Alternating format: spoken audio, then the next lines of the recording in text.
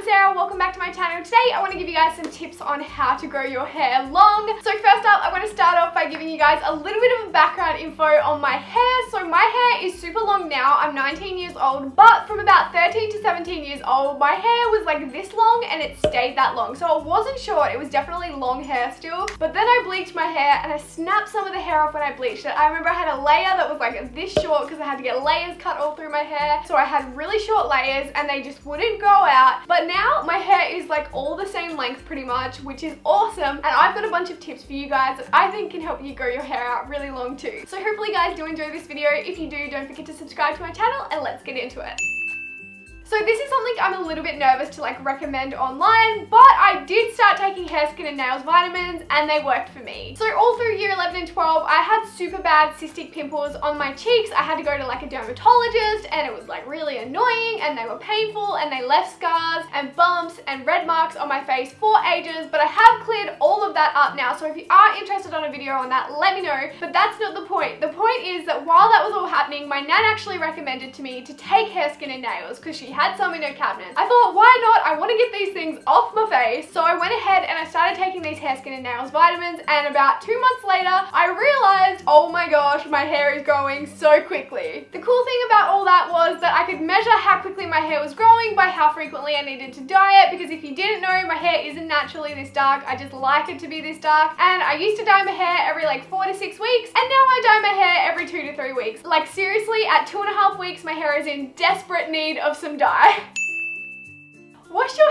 Just don't do it daily. How frequently you wash your hair is different for absolutely everyone. However, I would recommend cutting back from washing it daily because as I'm sure you've heard before, washing your hair daily strips it from all of its natural oils, in turn leaving it brittle and prone to breakage, which is something you want to avoid when you're trying to grow your hair nice and long and when you want to avoid trips to the hairdresser.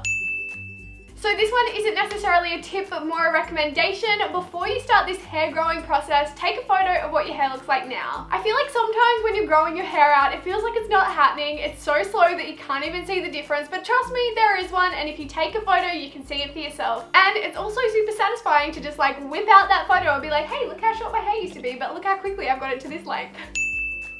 I would say get trims, just not as often as your hairdresser may want. I feel like getting trims is debatable. Some people say yes, some people say no, and I personally think there needs to be a balance. If I got trims as frequently as my hairdresser wanted, I'm pretty sure my hair would be shrinking, definitely not growing. I've also tried cutting my hair at all, and I did that for like one or two years, and that didn't work either. That just made my hair stay at a standstill or pretty much not grow, but like grow super slowly. So yeah, that didn't work at all, and now I currently get my hair cut maybe once every like four or so months and that's perfect for me. The good thing though that I have noticed about getting a trim is it does make your hair look thicker, it looks more voluminous and it also looks shinier and healthier and because of that I get a lot more compliments on how long and lovely my hair is as opposed to just having long brittle hair. No one compliments that, trust me.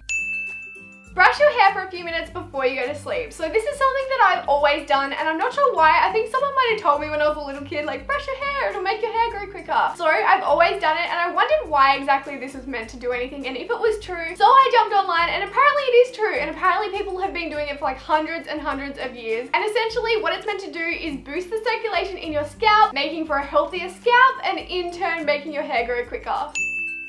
I'm not going to tell you to stop using heat on your hair, but maybe just reduce how much you do use it. There are a bunch of ways that you can reduce the amount of heat that you do put on your hair. For me, I do like to straighten my hair every so often, so when I do it, I make sure to straighten it absolutely perfect on the day that I get out of the shower, and then it lasts through for the next couple of days until I wash it again. It doesn't stay perfectly straight for the whole three days because it doesn't stay straight anyway. My hair is so crazy, but it does stay smooth and put together, which is really awesome. And if you're someone that likes to curl your hair, I know there's videos on how to get that to last for a couple of days as well. Another thing that you can do to reduce the heat on your hair is literally turn it down. I used to always use my styling tools with the temperature all the way up, which isn't necessary unless you've got like super thick, super curly, or super stubborn hair. And of course, you can go ahead and try out a bunch of heatless hairstyles. So if you're interested in me making a heatless hairstyles video on my channel, make sure to let me know down in the comments below and I'd be happy to make one.